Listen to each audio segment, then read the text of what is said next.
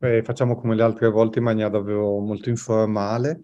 E questa sera presentiamo questo testo di Marco, La crepa dell'essere, un testo che credo che sia davvero molto interessante perché pone molte questioni, molti, dà molti impulsi, soprattutto su un tema che è stato trasversale in diverse nostre presentazioni delle, ultimi, delle ultime volte, cioè il tema del cristianesimo nella contemporaneità ok? La possibilità che si ospitino a vicenda, per usare un termine caro Marco. Ma eh, per fare questo facciamo in maniera abbastanza similare alle ultime volte. Quindi io lascerei la parola eh, prima a Kurt, Kurt Appel di Vienna, eh, che salutiamo, e dopo eh, darei la parola a Marcello, eh, Marcello Neri, che interagiranno con, eh, con Marco che a un certo punto prenderà a sua volta la parola. Se rimane un po' di tempo, come, come spero, eh, c'è la possibilità di porre, eh, di, di porre, alcune domande, alcune questioni. Come diceva prima Valentina, eh, abbiamo visto che funziona essere così rigorosi e quindi finire intorno alle 19.30. E bene, lascio subito la parola eh, a Kurt.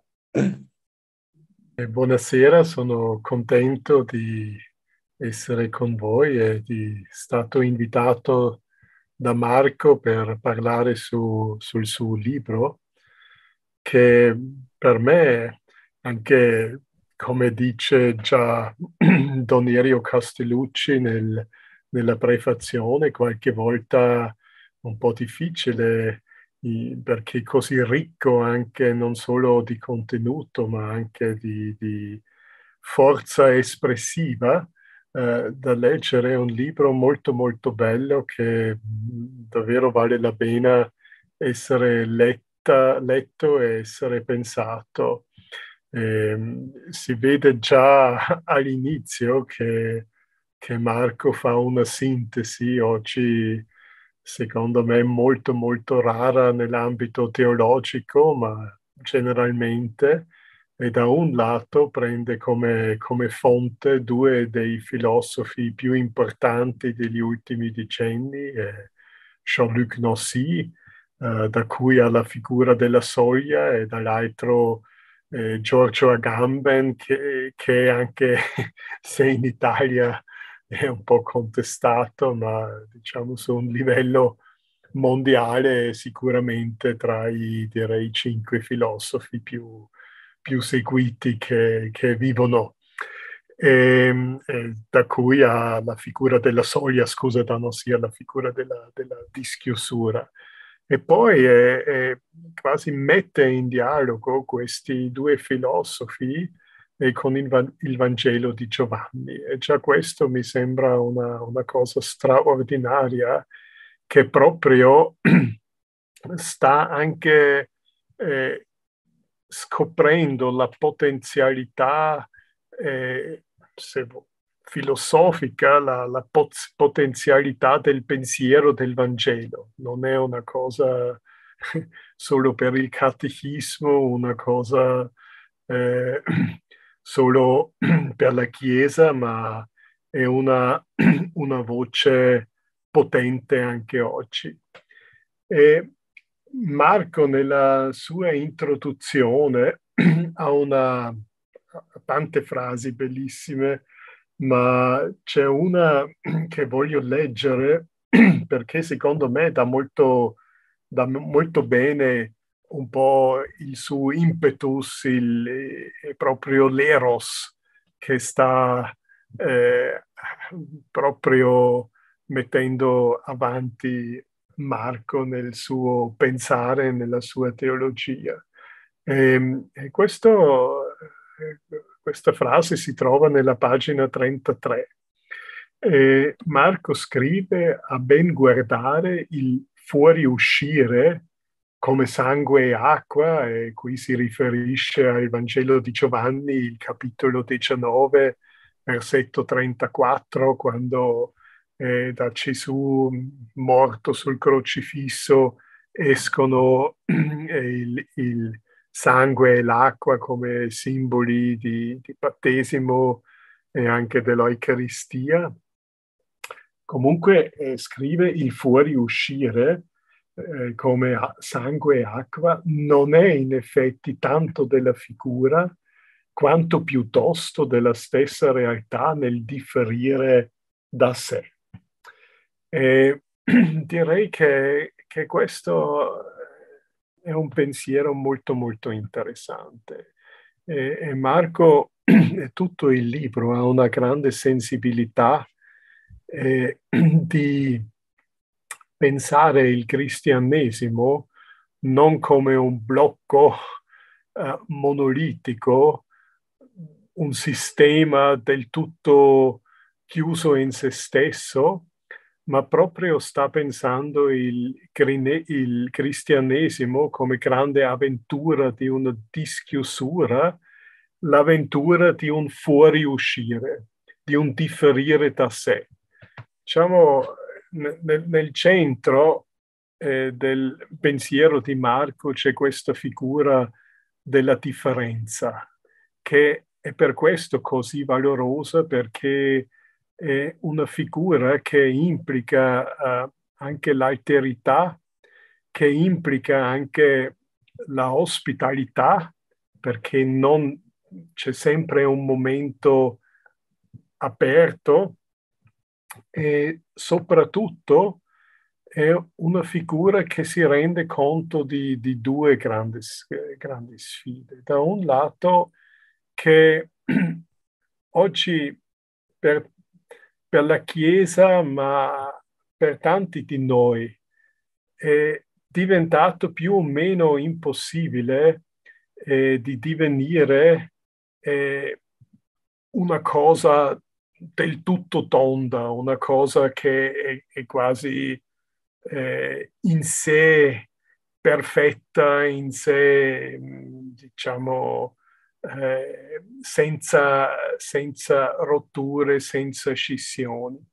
E, e questo testo eh, cerca di dare valore a questa esperienza che trova già nel Vangelo, che c'è una, una fragilità, una vulnerabilità e anche una, una pluralità eh, che rende più aperto il nostro mondo. Certo, lo rende anche qualche volta molto più difficile, forse più difficile, anche se ci si può chiedere se è così facile, eh, diciamo, il dovere sempre rappresentare il perfetto, il, eh, questo che non fallisce, eccetera.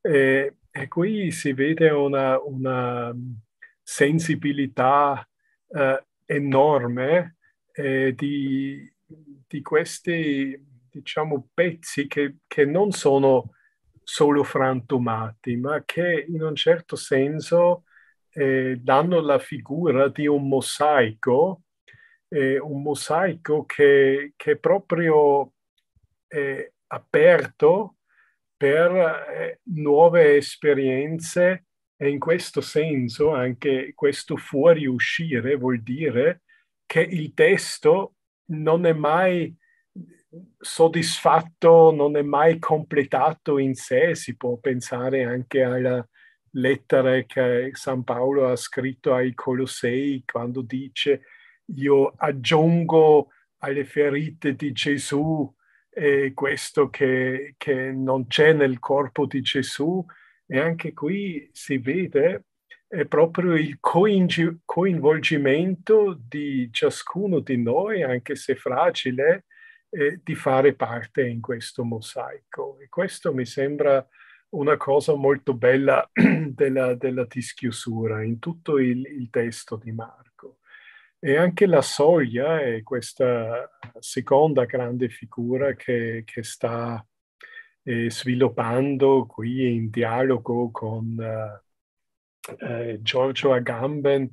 Non è semplicemente la soglia che ci porta da un livello all'altro, ma è proprio una, una soglia nel senso che non appartiene né da una parte né dall'altra parte, ma è quasi una soglia ospitale eh, in cui eh, proprio eh, c'è una dimensione che si sottrae a queste definizioni, a, a queste cose che a, a, a, questa vista che ci ha sempre già integrato in, in sistemi, in, in realtà che sono già scontate e in questo senso anche qui è quasi la soglia diviene una, una forma speciale della, della dischiusura. E ehm, io poi voglio anche chiudere con, con un'ultima osservazione. Eh, la bellezza è, è Marco, diciamo, non scrive un manuale.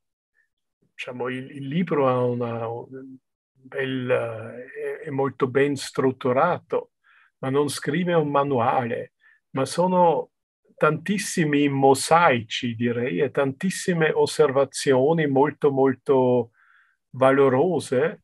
E secondo me alcuni non si trovano neanche nella esegesi della, della Bibbia, che po- proprio possono eh, arricchire la nostra lettura. Io, e così voglio finire, ho imparato tanto perché eh, questo tema generale eh, del, del, Gesù corpo aperto che proprio ci invita e che, che dà un'apertura anche ontologica sul mondo che Marco identifica già nel primo capitolo eh, dove questo testo di Giovanni si riferisce alla Genesi, eh, alla visione di Giacobbe quando il cielo eh, si squarcia, quando si apre.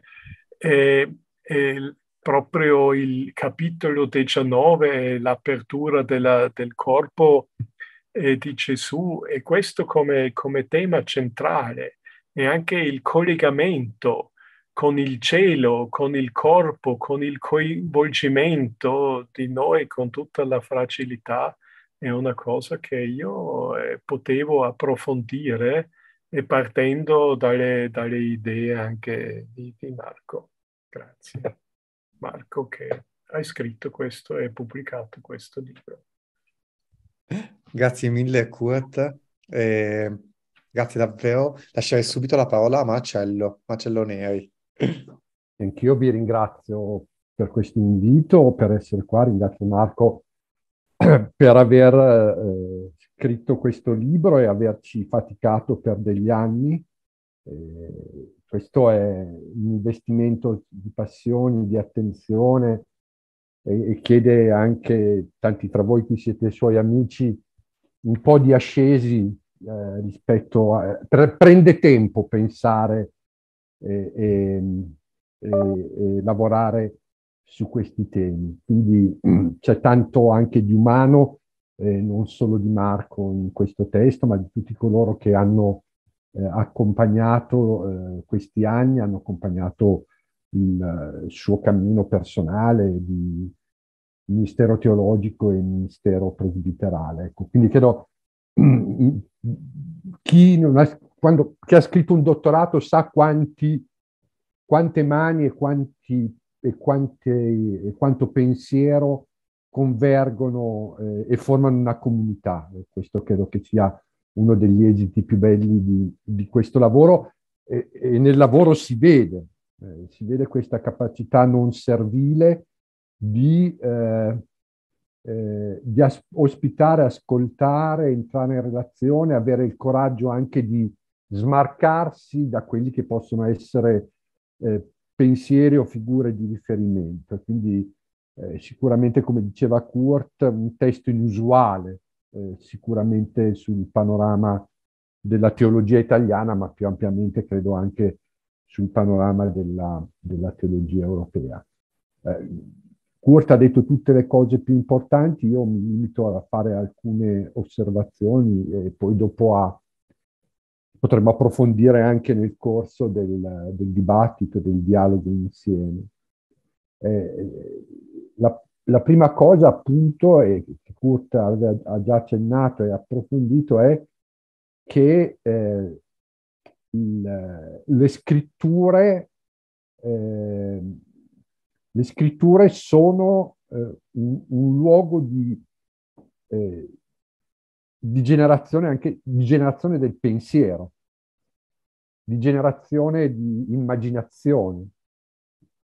E sono un luogo eh, aperto, eh, nel senso che pur essendo il testo sacro di una comunità religiosa, per la vicenda particolare del, del cristianesimo, almeno in Occidente, eh, questo, questo, testo è esondato da sé e, e, ed è stato appropriato, rielaborato, riscritto, appunto ricordo anche in ambito eh, letterario questo, il tema delle riscritture bibliche.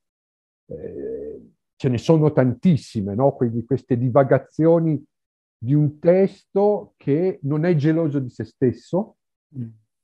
e,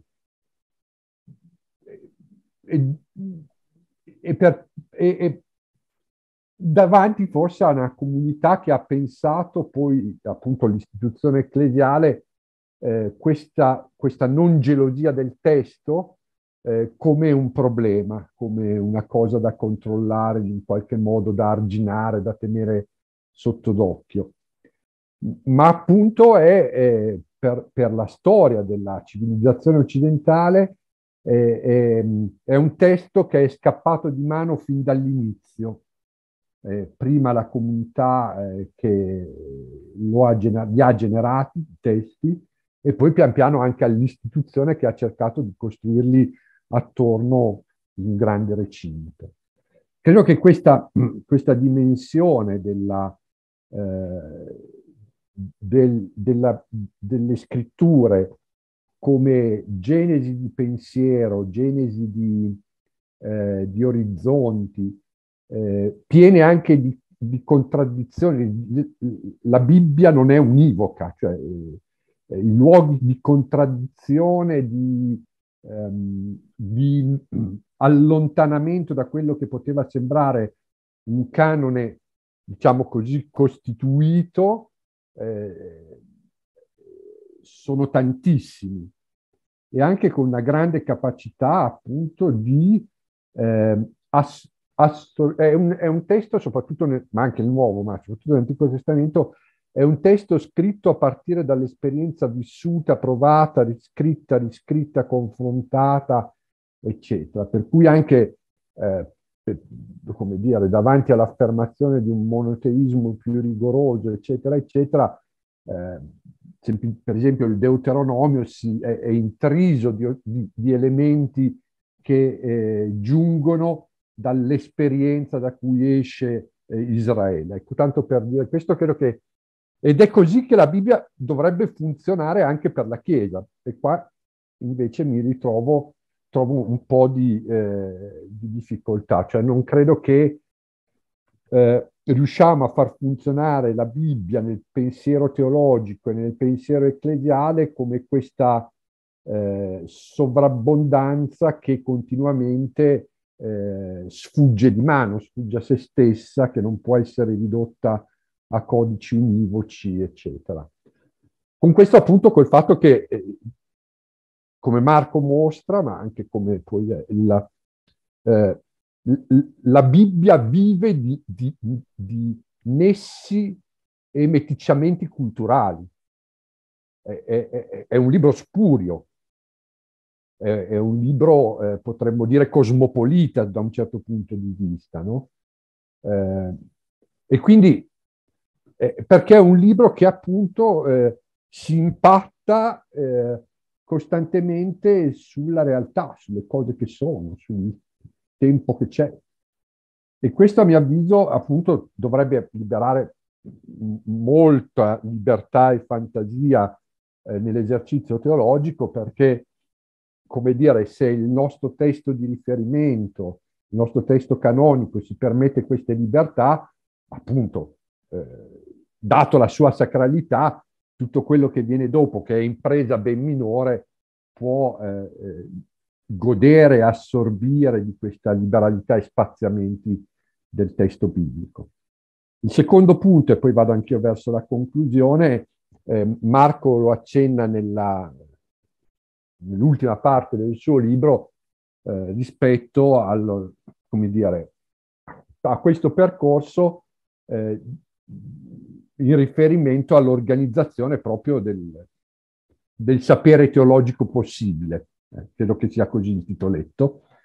E, e, questo chiama in causa l'organizzazione, eh, il curricula eh, degli studi teologici. E, e, che ha avuto una sua pertinenza, una sua ragione d'essere, accompagnato eh, la Chiesa, eh, ma non la Chiesa, anche la cultura per lunghe stagioni in maniera anche significativa e importante, eh, ma oggi sinceramente appunto Kurt dice ma questo non è un manuale, non lo è, è un, è un, è un saggio ponderoso che non ha casa attualmente nell'ossatura, nell'impalcatura degli studi teologici così come sono. Eh, non trova ospitalità, cioè non trova corrispondenze.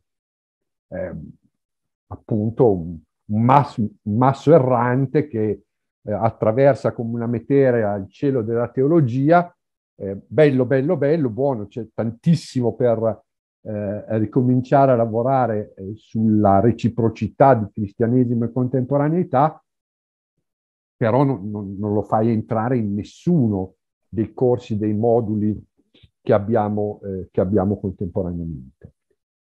E questo credo che, eh, insomma, se eh, anche vogliamo fare teologia per, eh, non come unicamente come eh, disciplina arcana di un gruppetto sempre più piccolo di appartenenti a, a, una qualche cerchia, la, la, revisione del curriculum teologico, il ripensamento, probabilmente oggi la teologia bisogna farla fuori dallo schema facoltà, almeno per l'Italia.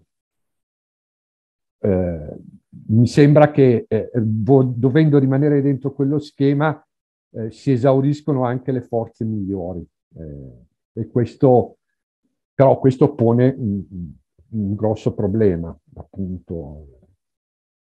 Cioè, verso dove, come? Ecco, abbiamo pochissimi, per esempio, ne, ne, come è organizzato il corpus, il, il corpus curricolare italiano, abbiamo pochissimi anche seminari, possibilità di lanciare, esplorare, vagare su eh, sentieri nuovi per ridisegnare l'impianto teologico.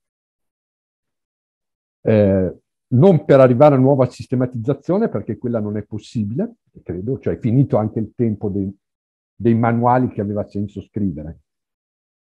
Oggi non si può più scrivere un manuale di nessuna disciplina teologica, se non perché può servire da bigino ai tuoi studenti o perché se hai tanti studenti eh, ven- eh, la casa editrice è contenta. No, questo è semplicemente un secondo, un secondo orizzonte. Chiudo invece con, con eh, questo, non una domanda, ma una, eh, una, eh, un, una, magari un doppio orizzonte di cui possiamo anche discutere. Da un lato, eh, la categoria del messianico attraversa dall'inizio alla fine il, il pensiero di Marco, eh, da buon allievo di Kurt, ma è eh, una categoria che lui ha, ha, assunto ben prima di andare a Vienna con i suoi studi su Rosenzweig e questa attenzione anche alla cultura e, il pensiero ebraico. Eh,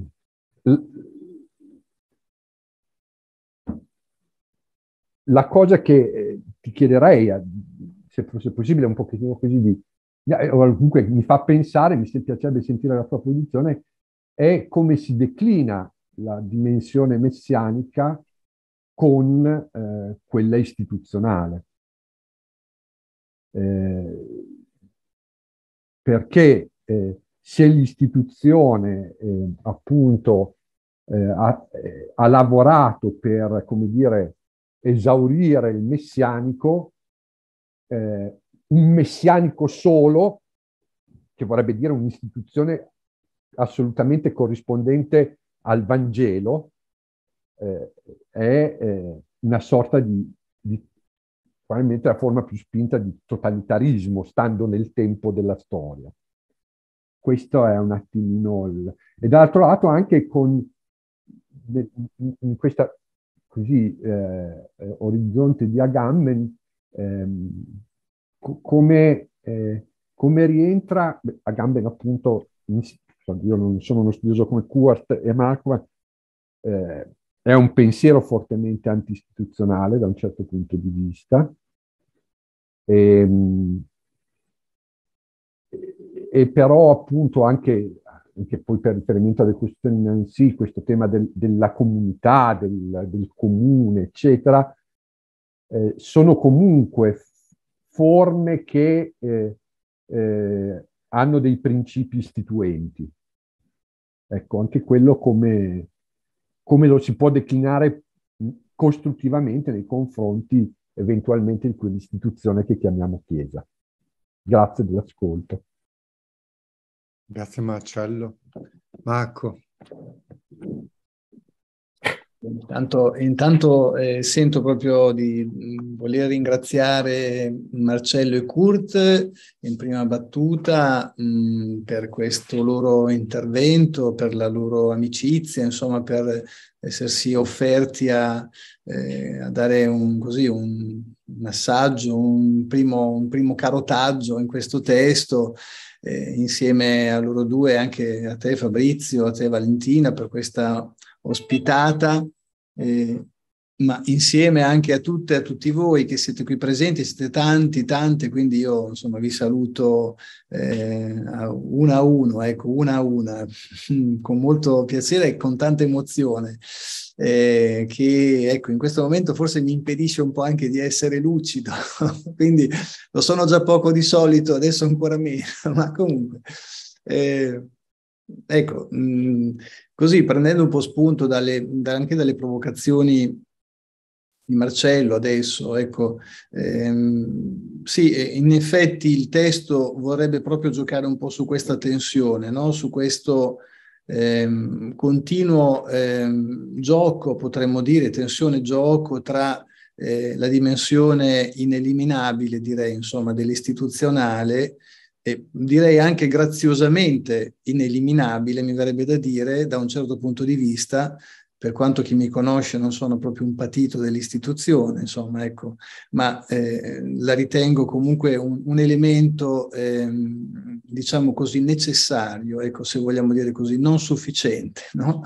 Eh, ecco, la, da una parte questa dimensione qui, quindi che, che accompagna il testo nelle varie fasi, potremmo dire, e la parte messianica a cui ho, diciamo, eh, ho, ho, legato anche la figura della soglia. Se vogliamo dire così, ecco, si potrebbe anche dire in questi termini, per ritornare al testo in modo più diretto, direi la dialettica tra le due figure che non si esauriscono ma, ma, si implicano, coimplicano vicendevolmente, è proprio quella tra una dischiusura che potremmo, diciamo così, associare al tema dell'istituzionale, al tema della religione come istituzione, e eh, il messianico che in qualche modo disattiva ogni volta l'arroganza, tra virgolette, o il potere fino a se stesso di questa dimensione che invece a, è chiamata a servire in un certo modo, si potrebbe dire così. Quindi la soglia sarebbe proprio quel disinnesco costante, continuo, e quel, quell'uscire fuori da, eh,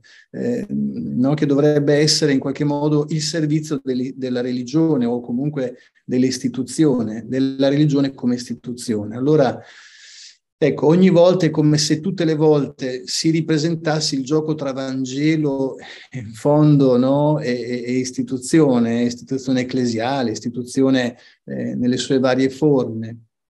È come se fosse irriducibile, ma nello stesso tempo coimplicante entrambe le, le figure. Ehm, per cui, ecco, il punto di, diciamo, di, di, caduta è quando eh, nella storia succede spesso, eh, la soglia diventa un, solo un passaggio e, e, e, quindi scompare immediatamente per lasciare il posto solo alla dischiusura, per cui eh, dischiusura in questo senso è solo istituzione, solo un vedere che però tiene a distanza e non ospita, solo un, un come dire, un permettere in qualche modo di, eh, di vedere, quindi di sapere, di tenere, di controllare, vorrei dire lì tutti insieme, tutti in fila, come, come luoghi in qualche modo che costituiscono un, un modo di essere, anche un potere, ehm, facendo in modo che appunto la soglia eh, venga come eh, dis, mh, depotenziata del suo, del suo proprio, che è quella di essere luogo di ospitalità, come diceva Kurt all'inizio,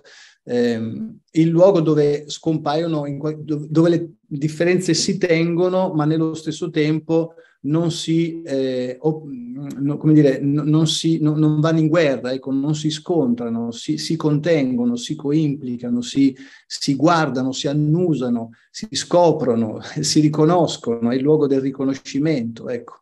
È il luogo dove, e quindi della massima vulnerabilità e quindi del messianico eh, come figura appunto eminente e paradigmatica di tutto questo. Ecco, mm, nel testo, diciamo, direi, tornano continuamente, ho riproposte in varie forme, su vari, declinati in vari, su vari piani, ecco, giocando un po' col Vangelo di Giovanni che ho ritenuto in questo senso più adatto proprio a giocare di sponda su questo piano qua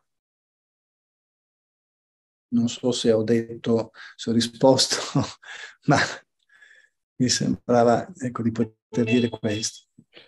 Grazie mille Marco. E allora, io direi, se siete d'accordo, non so Marco se può funzionare, abbiamo una ventina di minuti. E mm, possiamo lasciarci la parola a vicenda molto liberamente. E quindi chi vuole intervenire, domandare, eh, eh, direi, che c'è, direi che c'è spazio. E, ehm, quindi a voi, a voi la parola. Eh. Ma eh, dunque c'era una mano alzata da Gina da tempo, non so se, eh, se sia ancora significativa o se invece era rimasta lì. Giovannoni, vedo che Sì, sì, esatto. Quindi se Gina non ci dice niente, allora io eh, chiederei di intervenire a Marco Giovannoni. Sì, grazie, grazie della, della parola. Mm, spero di non essere totalmente fuori tema, ma solo, solo un poco, diciamo. E, perché c'è la provocazione di Marcello che la, la sento come riguardante, come penso riguardi quanti di noi a vario titolo sono legati alle istituzioni dove si fa teologia in Europa, insomma, lo stesso Marco, ecco perché eh, mi verrebbe da essere un po' drastico, no? Cioè il, il, il, la, provocazione di Marcello, dico, sul, sul, sulla teologia, no? Su, su quanto la teologia sia capace di...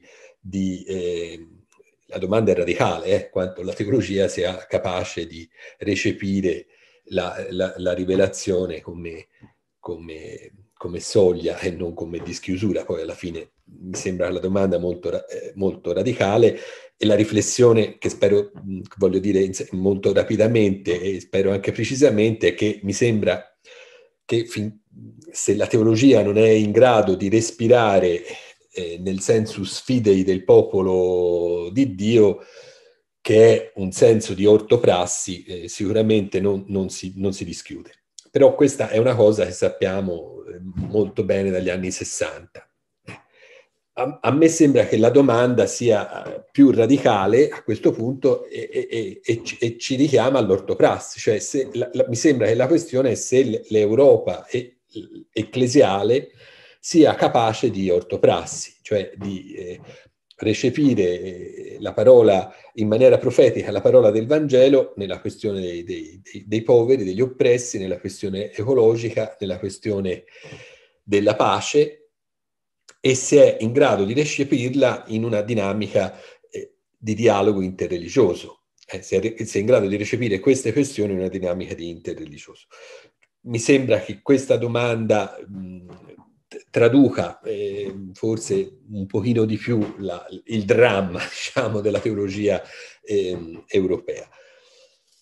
E a peggiorare le cose è, secondo me, eh, chi è chiamato a raccogliere la sfida, perché eh, è chiamato a raccogliere la sfida, con Fabrizio si usa un po' sempre questa parola residuale, cioè un, un, un resto, cioè categorie residuali destinate a, eh, come dire, diventare sempre meno significative, almeno in Italia sono i, i futuri preti e i futuri eh, insegnanti eh, di religione. E, ehm, perché dico che questo po- è, potrebbe essere un problema? Non perché queste persone ovviamente siano una risorsa preziosissima e da accogliere con, con, con gioia e riconoscenza, insomma, ma perché eh, non stanno nel, nel, nella soglia o, o, o, o, come dire, non gli è richiesto di, di, di starci. Ecco. Allora io penso per rispondere alla provocazione di, di Marcello che probabilmente la domanda delle istituzioni teologiche è come far spazio al loro interno in maniera non eh, episodica e straordinaria, ma ordinaria a persone che non sono questo tipo di categorie. Ed è ovvio che bisogna porsi domande diverse e fare anche offerte diverse. Insomma, è, io la, la sfida, ecco, la vedo così e mi scuso se ho parlato troppo. E ehm, non so se, se, per caso Marcello, Marco, Kurt mm, volete in qualche modo reagire a questa riflessione di Marco.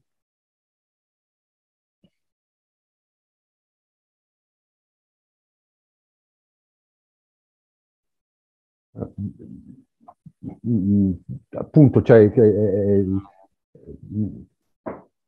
nel senso è, è la percezione del, del, del, del sintomo della situazione.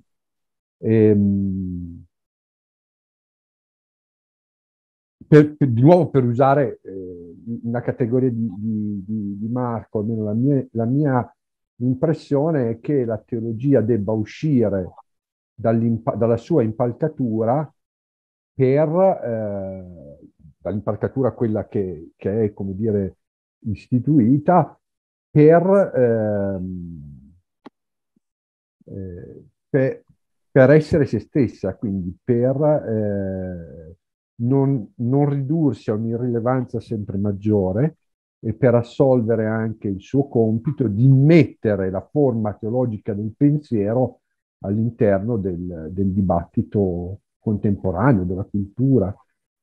E dall'altro lato, appunto, è, è, deve essere, eh, secondo me, come diceva Marco, una, eh, non può più essere una teologia che prescinde dalle pratiche. Eh, e le pratiche non, non, sono dei punti di applicazione, ma rivestono, hanno in loro stesse un, un, una dimensione appunto anche teologica. a me viene in mente, che magari poi anche Kurt ci può dire una cosa, cioè anche il cammino fatto a Vienna col, col, col uh, centro di ricerca eh, su religione e trasformazione ha, è, fa, è, stato fatto appunto per eh, far uscire, per dare un, un, un contenitore eh, nel quale la teologia potesse continuare ad avere una rilevanza accademica, culturale, politica, eccetera. Ecco, questo. In Italia però siamo fermi, ecco, anche da tante parti in Europa. Questa è un po' l'impressione.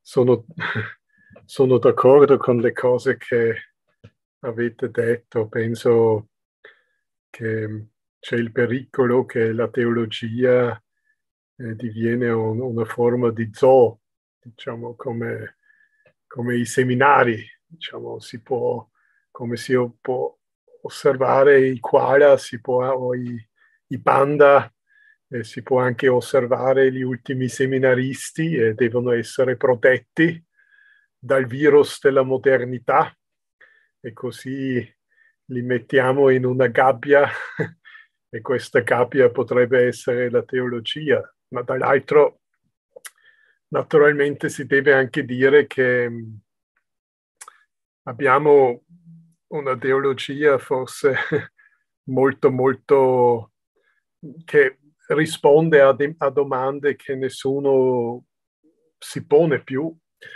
E, dall'altro, eh, quando si guarda al sistema universitario, eh, non è molto più illuminante in tanti aspetti. E penso che abbiamo bisogno nelle nostre società una ricerca che proprio parte dall'esperienza dell'umano, è una ricerca che ha bisogno di tantissime voci dove potrebbe o dovrebbe anche fare parte la teologia, anche senza, e questa è la precondizione, senza eh, pretesa di, di egemonia.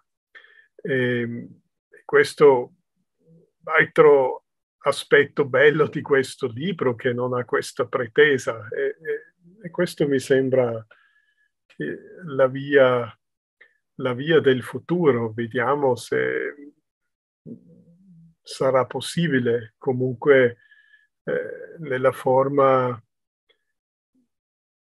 che la teologia oggi ha poco, ha poco futuro e qui sono, sono molto sono molto d'accordo. Abbiamo bisogno sempre l'altro da se stesso e per troppo tempo eh, l'alterità della teologia era la teologia, così. Eh, è un, un, deficit, ma solo, come già detto, eh, anche anche le scienze umane eh, devono rendersi conto che questo che Marco ha accennato con la soglia, che, che non ci sono più i territori chiari, qui il mondo laico, qui il mondo religioso, qui la teologia, qui la filosofia, qui la Chiesa e qui non so, e, e siamo in un, in un grande flusso, anche in una pluralità di, di identità, qualche volta anche nella stessa, nella stessa persona.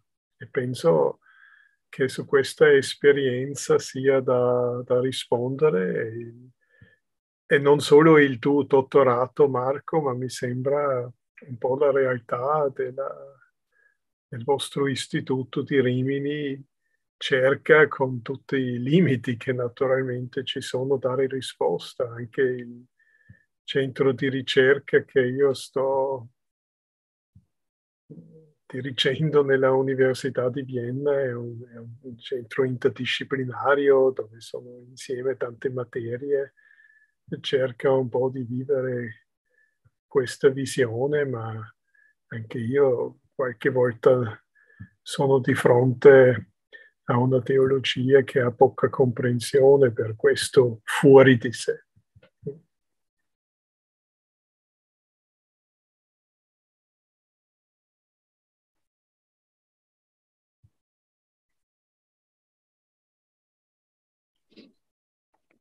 Marco, vuoi aggiungere qualcosa?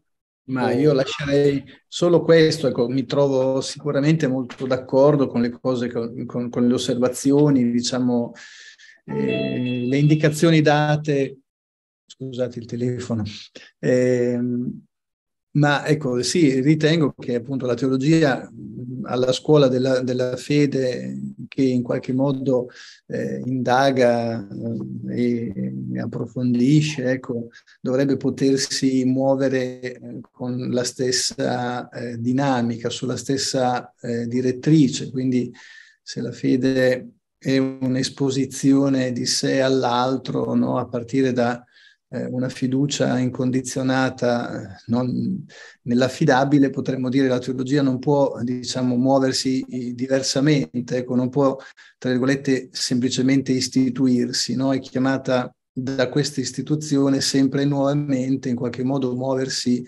oltre sé, oltre sempre come oltre fuori, sì, fuori di sé appunto. Quindi se questo è il movimento della fede, credo che sia necessario che la, la teologia riscopra questo movimento altrettanto, no? Quindi eh, sì, in fondo l'essere in uscita che il Papa più volte richiama, po- potremmo dire ha anche questo risvolto qua. Bene. Marco, posso, posso chiederti una cosa perché se non è difficile, se non è, se non è difficile. No, è molto difficile no. perché è scritto nel tuo libro, ma comunque no. Eh, mi sembrava un pensiero molto molto bello, è uno dei tanti. Eh, e questa figura di San Tommaso, del, del gemello, eh, sembra anche molto tipica il tuo sguardo su questa figura per tante altre cose. Puoi raccontarci qualcosa su questa figura? Qui ci sono dei biblisti davanti a me, io temo, no, eh, ma diciamo mh, mm, mi, mi, mi, ha colpito no, il fatto che il termine utilizzato per designare questo personaggio sia in qualche modo la traduzione greca no?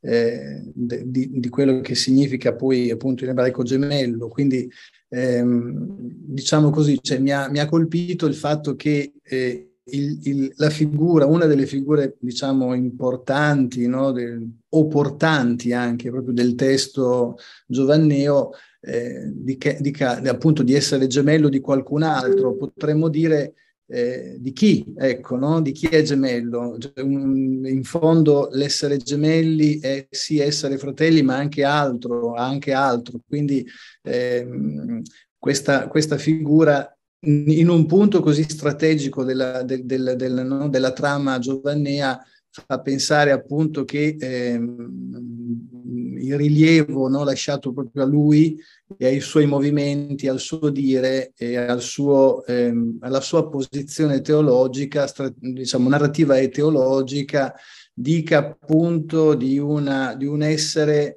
eh, diciamo, lo avvicina molto ecco, alla figura della soglia in qualche misura, no? non solo perché mette il dito, tra virgolette, no? lo, diciamo, muove verso no? il costato di Gesù, ma anche perché eh, dice che c'è, una, c'è altro di sé che in qualche modo gli è legato, no? quindi eh, potremmo dire ripropone eh, in qualche misura in, in, modo simbolico la necessità di, di altri da sé, ecco, eh, un'implicazione sempre di altri da sé, no? Eh, un, un, essere, potremmo dirla con, con Deserto, mai senza l'altro, ecco mai senza eh, il proprio gemello. E chi è il gemello? Potremmo dire la comunità, potrebbe essere, no? eh, potrebbe essere il lettore, la lettrice, potrebbero essere tutti coloro che in qualche modo sono convocati nella lettura e diciamo nella comprensione del testo eh, e, e, di cui ecco egli si fa come in qualche modo l'ospite in un certo senso nella sua posizione, ecco, invitando a posizionarsi lì dove si posiziona lui, che è in fondo la posizione della fede apostolica compiuta, piena.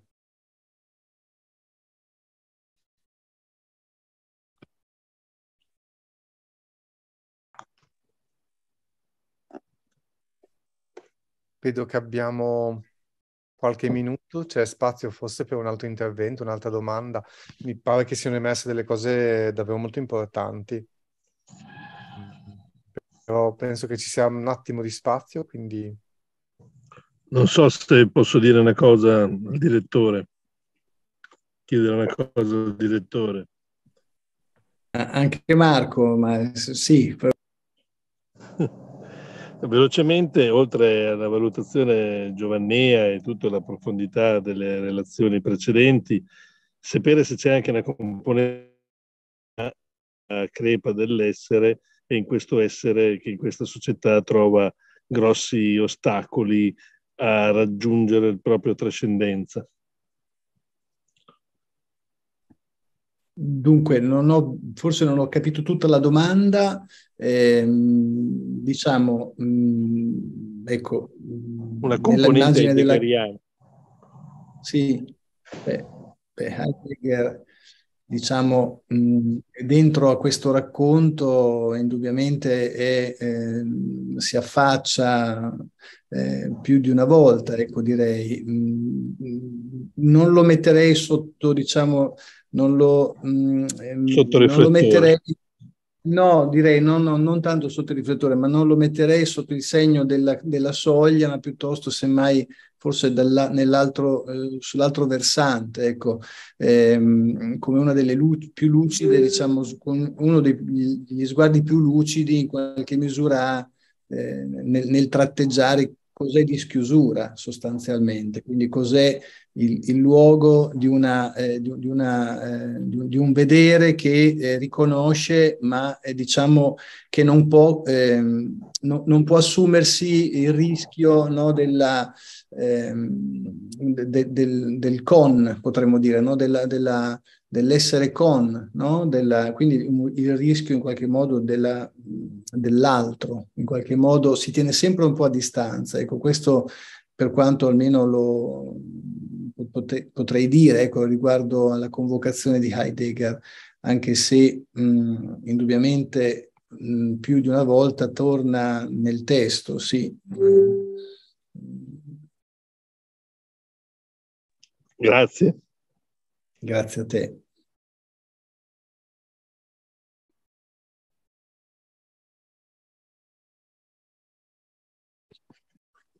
Prima, prima, di chiudere, comunque il testo vale soprattutto per la copertina. Eh.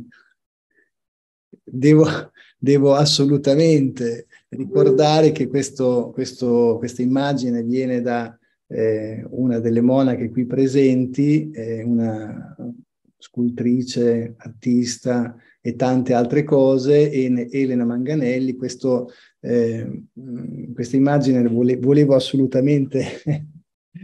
no, non sono stato imbeccato. Eh? no, ecco, la trovate eh, a Penabilli dalle monache che sono qui collegate ed è un, uno dei tanti, una delle tante opere d'arte eh, che potete trovare al monastero di Penabilli. Ma allora la domanda per concludere è questa, perché proprio questo? Perché proprio questa immagine? Perché questa bella domanda, in effetti è una bella domanda. Oltre ad essere una bellissima immagine di Gesù, no? e l'ecce homo, e, eh, diciamo, ehm, da questo, da questo sguardo dell'ecce homo, diciamo così, da questa apertura dello, de, dello sguardo, eh, dico, eh, ecco, sono subito rimasto affascinato e colpito perché mi sembra che in questo sguardo, nel, nell'apertura anche dell'uomo dell'uomo, dell'ecce homo ci siano, come dire, siano in, contenute entrambe le figure, no? non in una confusione, ma semmai proprio in una tensione generativa. Allora eh, mi è sembrato il più rappresentativo, almeno per quelli che io ho potuto eh, così cercare, guardare, insomma, eh, potevo anche scegliere per dire un, un non so, un, qualcosa di più astratto, no? andando verso altri autori, ma mi sembrava questo, eh, questa immagine potesse tenere dentro un po' in modo sintetico e simbolico tutto il, il discorso del messianico, un po' in fondo, alla fine. Grazie. Allora, grazie a te. Grazie a, grazie a tutti, a Marco, a Marcello, a Kurt, a tutti, a tutti voi che siete presenti. E, mh, lascerei la parola a Valentina, credo che siano emersi dei temi mm, molto chiave, dal tema dell'aperto al tema di eh, questa polarità tra soglie di schiusura, la questione posta prima da Marcello del messianico, e poi questa questione credo che sia un po' all'orizzonte del, delle strutture, dei compiti, delle figure della teologia oggi e domani, ma già domani pomeriggio, credo. E questo credo che sia davvero una questione eh, molto, molto, molto importante. E bene, grazie a tutti e a tutte. Lascio a Valentina. Sì, ma io vi saluto soltanto, dico che questa regola che ci siamo dati proprio in incontri come questa sera mi sembra che riveli la sua necessità perché ehm, quando degli, degli appunta, delle conversazioni diciamo, si fanno così dense eh, cioè, si potrebbe andare avanti per delle ore, invece ovviamente questo non è possibile, avere questo limite orario secondo me ci aiuta anche a essere più, a mettere a fuoco. Io ho preso degli appunti degni di una stenografa perché veramente, perché veramente sono uscite tante cose eh, ovviamente sono cose che nascono dal libro di Marco, però eh, spero che, che, Marco non me ne voglia se dico che sempre poi appunto quando si eh, mettono in circolazione trovano un, un respiro e un'ampiezza, contributi diversi ed entrano appunto in quella vita, in quella realtà eh, che devono fecondare in effetti. Eh, una cosa che mi colpisce anche è, anche Marco ha partecipato ad altri di questi nostri incontri che giravano tutti intorno a libri nati dalla ricerca negli istituti superiori di scienze religiose.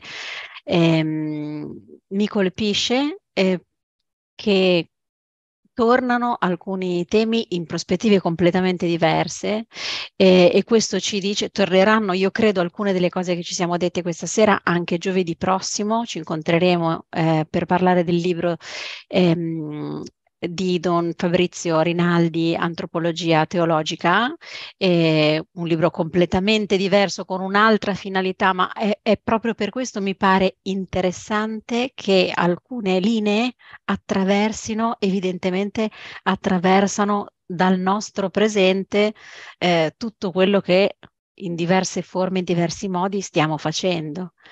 Eh, quindi insomma, bello spero bello anche per voi che avete partecipato così numerosi.